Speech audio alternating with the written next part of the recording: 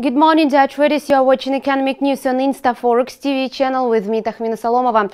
On Thursday, the US dollar index was rising against the basket of 10 major currencies despite the report on initial jobless claims in the United States.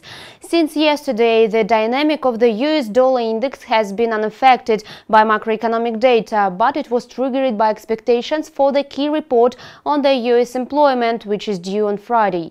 Yesterday, the US dollar index closed at the mark of 93.70. Currency strategists expect the index to grow to the level of 94.00 and even higher in case the market is pleased with the print on the US unemployment level for April. However, the initial jobless claims figure discouraged traders as this important indicator has been increasing for five weeks in a row. On the plus side, the latest figure is below the long-term average that proves a healthy jobs market. The number number of Americans filing for unemployment benefits increased by 17,000 to 274,000 in the week ended April 3rd.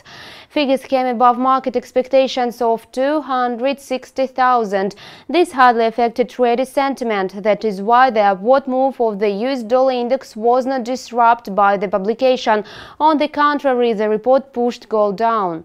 Yesterday, the precious metal was falling in value. In the late session, gold was trading at 1,276 US dollars 49 cents a troy ounce. Meanwhile, analysts do not foresee a sharp fall in gold prices awaiting the unemployment rate data from the United States. Apart from the US, Canada will also provide important statistics on the labor market, so the USD CAD pair could show an unexpected dynamic. Follow developments in the forex market on the InstaForex TV channel.